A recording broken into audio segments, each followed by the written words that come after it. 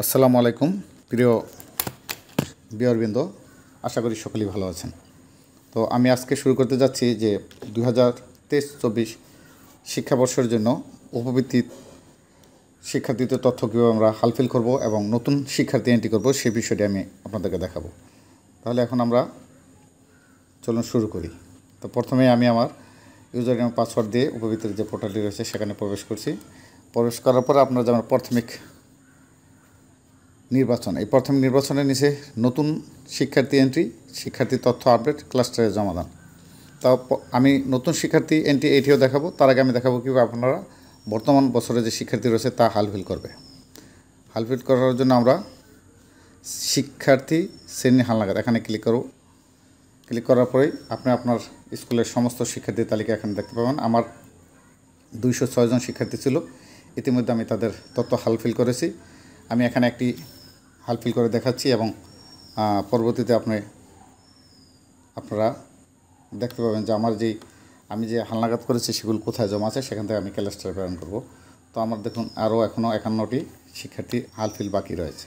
তো আমি যে কোনো একজন শিক্ষার্থীকে হালফিল করে দেখাচ্ছি, যেমন ধরুন আমার পঞ্চম শ্রেণির বাইতুন্নুর। তাকে আমি এখন হালফিল করে দেখাচ্ছি। প্রথম আমরা এই এডিট আইকনে ক্লিক করব। ক্লিক করার পর আপনার এই যেখানে শ্রেণি রয়েছে, এখানে দেখুন প্রাক প্রাথমিক প্রথম শ্রেণি দ্বিতীয় তৃতীয় চতুর্থ পঞ্চম।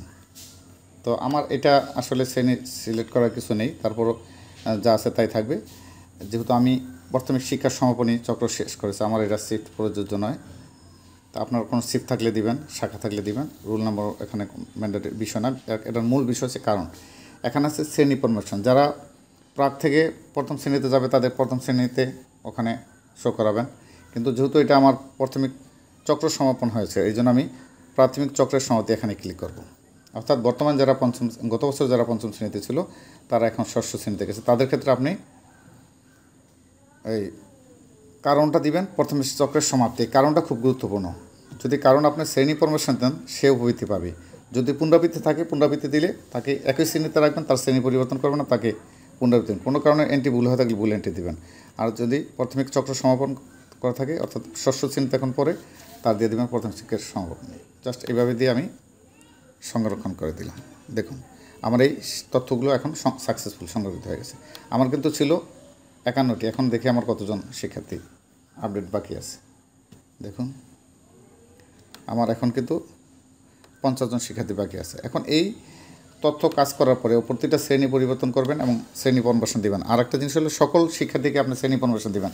পরে যদি কোনো শিক্ষার্থী অন্যত্র চলে যায়, পরে তাকে ট্রান্সফার করবেন কিংবা যখন টাকা দিবেন অর্থাৎ টাকার দিবেন, সেখানে আপনি তাকে কোনো শিক্ষিত উপবৃত্তি না পেলে তাকে টাকা না দিতে পারেন, কিন্তু এখন সবাইকে আপনি শ্রেণি প্রমোশন দিয়ে দেবেন।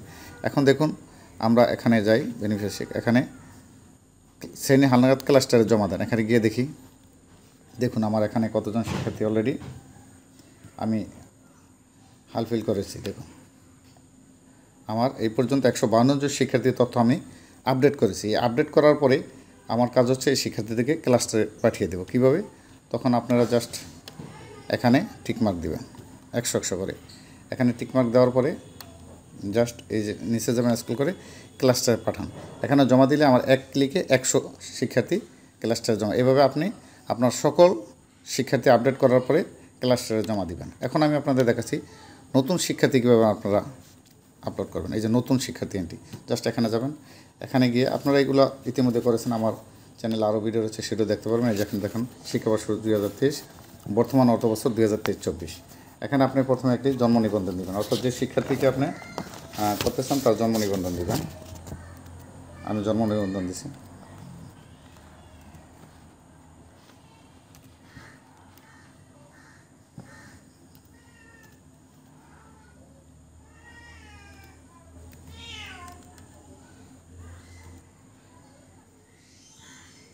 শিক্ষার্থী জন্ম নিবন্ধনের পরে আপনারা এখানে জন্ম তারিখ দেবেন। জন্ম তারিখটা এইভাবে এখান থেকে সালটা সিলেক্ট করে নেবেন।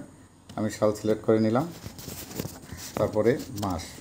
এখন তার অক্টোবর মাস, এভাবে মাসগুলো আপনারা নিয়ে নেবেন। যেমন চোদ্দোই অক্টোবর, আমি চোদ্দোই অক্টোবর সিলেক্ট করে নিলাম। তারপর জাস্ট সার্চ অপশানে ক্লিক করলে দেখবেন যে শিক্ষার্থীর নাম চলে, ইয়াসিন নূর রাহিদ অটোমেটিকলি চলে আসবে এবং শিক্ষার্থীর জেন্ডার চলে আসবে। এখানে ভাই বোনের সংখ্যা দিবেন। তারা চারি ভাই বোন, তিন ভাই বোন। আমি দিয়ে দিলাম, এখান থেকে ধর্ম নির্বাচন করবেন। তারপর ক্ষুদ্র নিগোষ্ঠী না দেবেন। যে সমস্ত ডাটা ম্যান্ডাটরি সেগুলো অবশ্যই ফিল করতে হবে। অর্থাৎ লাল, স্টার চিহ্নগুলো অবশ্যই ফিল করতে হবে। এরপর এখানে মায়ের আইডি দেবেন। আপনারা এই বিষয়টি আগেও করেছেন। আমি জাস্ট আপনাদের রিভিউর জন্য আরেকবার করেছি।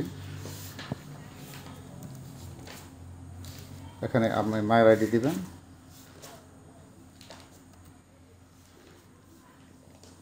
তারপর যথারী এখান থেকে ক্যালেন্ডার থেকে জন্ম তারিখ নেবেন। অর্থাৎ জন্ম সালটাকে সিলেক্ট করবেন।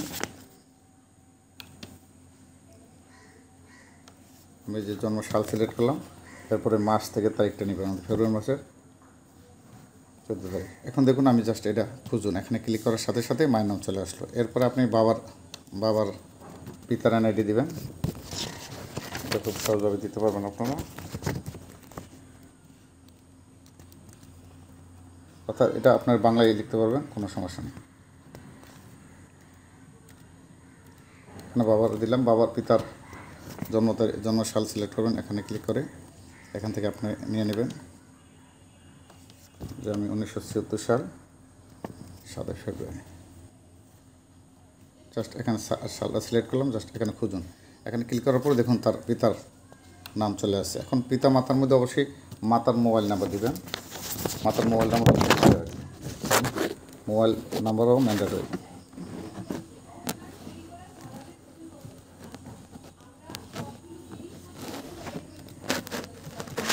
ডাবল নাইন আমরা মাতার মোবাইল নাম্বার দেওয়ার পরে আমরা চলে যাব নিচে, এখান দেখুন ঠিকানা। ঠিকানা আপনি প্রথমে এখানে পোস্ট কোড লিখবেন। আমি পোস্ট কোড পোস্ট কোড লিখলাম। এরপরে ঠিকানা, এখানে আপনার বাংলা করে নেবেন, ঠিকানাটা বাংলা লিখবেন। আমি লিখছি।